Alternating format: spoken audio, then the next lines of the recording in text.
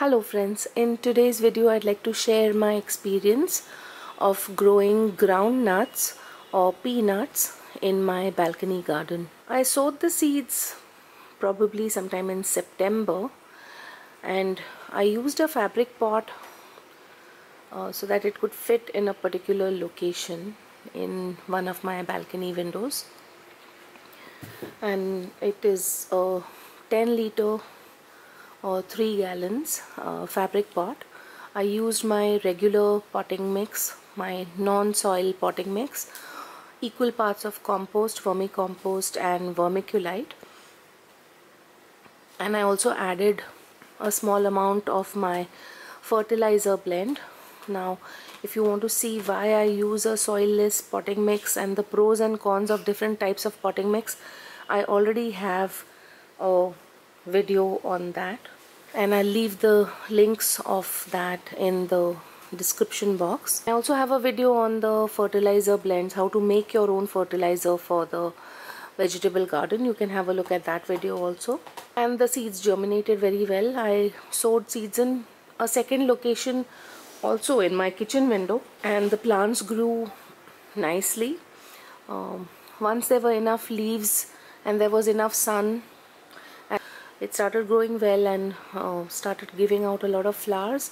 And once the flowers drop off one can see these spikes kind of going downwards uh, towards the potting mix or soil. And these spikes go and uh, ultimately form the peanut under the surface of the soil or potting mix. Now my potting mix is fluffy so it's very easy for the spikes to go in. If you're using a soil based potting mix uh, it's probably a good idea to just loosen up the soil. When you see the spikes going into the soil when I observed these spikes going in I realized that my choice of grow bag was not correct. The diameter of the grow bag was too small.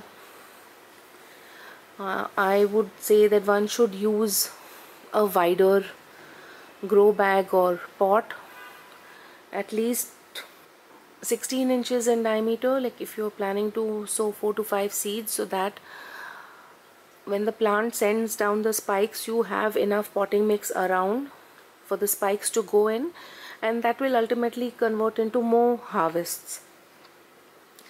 So what I did was because the plant uh, doesn't grow upright as it grows bushier and heavier it kind of falls around its own sides and thereby facilitating the spikes to go into the uh, growing medium.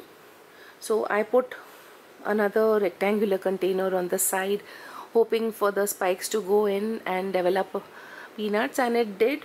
A nice rectangular container would also do like this thermocol box that you can see here. I'm growing other things in it but I think next season I will definitely grow peanuts.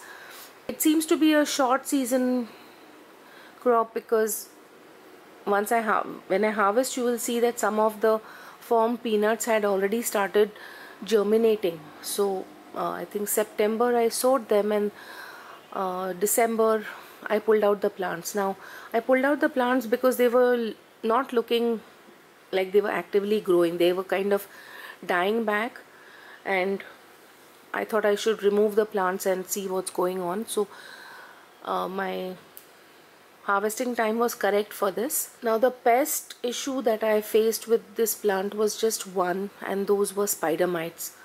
I did spray neem oil regularly from time to time. I did spray bioenzyme also.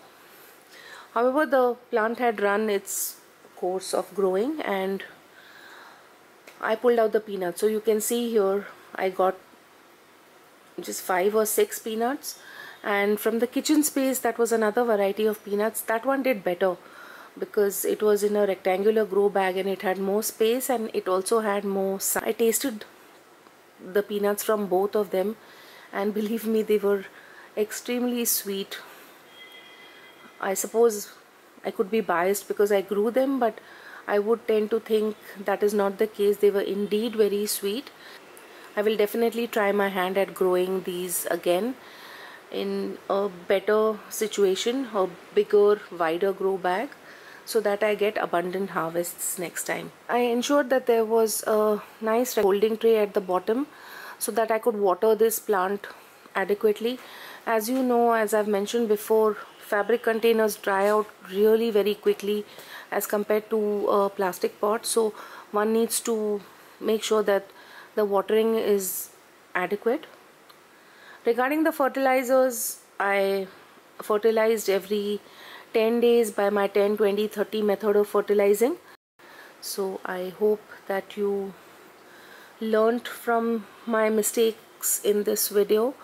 And do let me know your peanut growing experiences in the comments. Thank you so much for watching. Happy growing everyone